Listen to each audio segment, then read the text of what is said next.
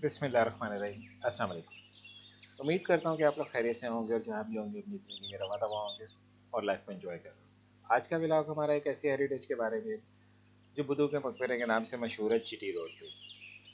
अब बुद्धू का ज़िक्र भी आता है शाहजहां के दौर में, जो ईंटों का भट्टा था, या डिटेल जो भी इसकी है। और कुछ जगह पे इसका है कि ये बुद्धू का वतनी है, खान दौरा नवाब नुसरत खान की एलिया का है और उनकी और उनकी बीवी की कबर इसी में है। और कुछ जगह ये है कि ये मियाँ मीर के एक मरीद थे, फ़कीर अब्दुल हक, जिनका मकबरा तो ये दो तरह, तीन तरह की आए हैं, पर जिसका भी है यह तारीखी मकाम अपना एक इसका यहाँ मैंने मैप ऐड कर दिया है रेलवे स्टेशन से बुधू के आवे तक का। तो ये पूरी डिटेल आ जाएगी, आप इसको देख सकते हैं।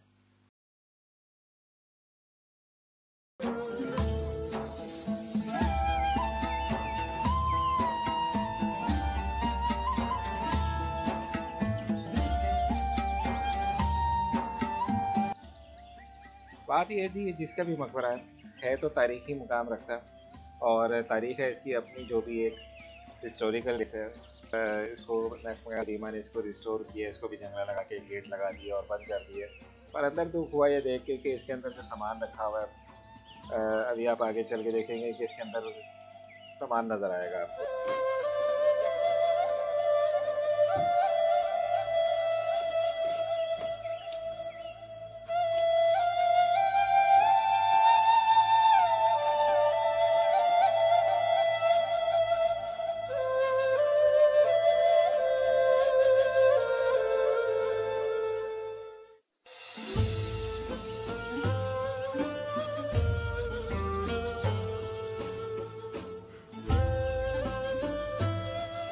जी, जैसा कि मैंने आपसे पहले ज़िक्र किया कि यहाँ पे अंदर जो सामान था तो वो सामान इस अंदर, यानी मकबरे के इनसाइड पड़ा हुआ। और उन्होंने स्टोर किया हुआ है, जो भी है, बहरहाल अगर ये मकबरा पब्लिक के लिए रिस्टोर किया गया है, इसको महकमा सानी के दीमा ने अपने अंडर लिया है तो इसकी देखभाल प्रॉपर करनी चाहिए, बजाय इसके कि इसके अंदर ये सारी चीज़ें रखें, इसको बाहर एक रूम बना दें सेपरेट जहाँ पे इन चीज़ों को ऐड कर दें।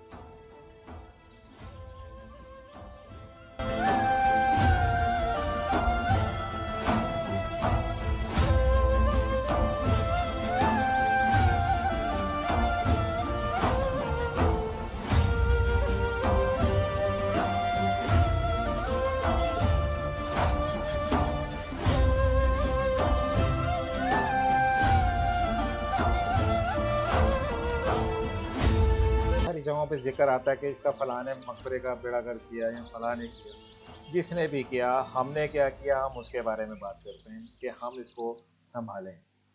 ये हमारा विरसा है।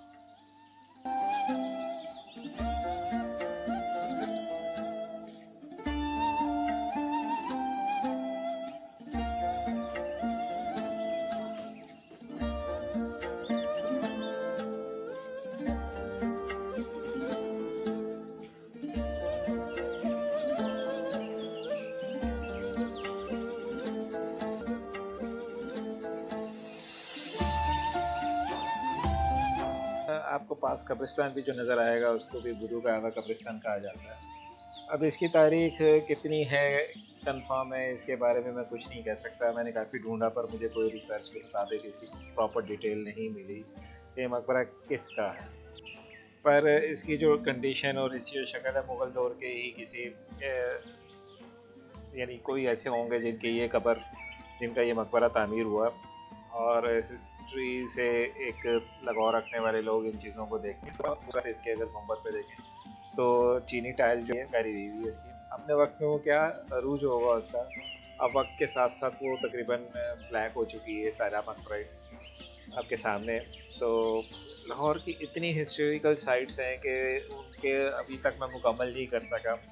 और अभी मैं मज़ीद देख रहा हूँ, ये बहुत साल पहले मैंने इन पर वर्क किया था।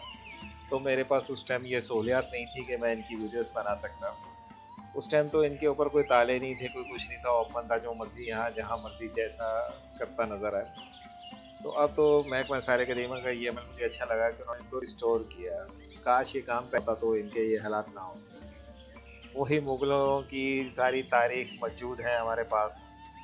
उनकी बिल्डिंग्स उनके खाने, हर चीज़ उन्हीं का हमारे पास क्या था, वही मैली कुचैली धोतियाँ और पकड़ियाँ तो वो सारा कुछ निकाल दें तो बाकी पीछे मैली पिचैली धोतियाँ और पकड़ियाँ ही बचती हैं। तो ज़रा सोचिए। आज का ब्लॉग मेरा इसी तारीख के हवाले से था। इंशाल्लाह उम्मीद करता हूँ कि आप लोगों को पसंद आएगा।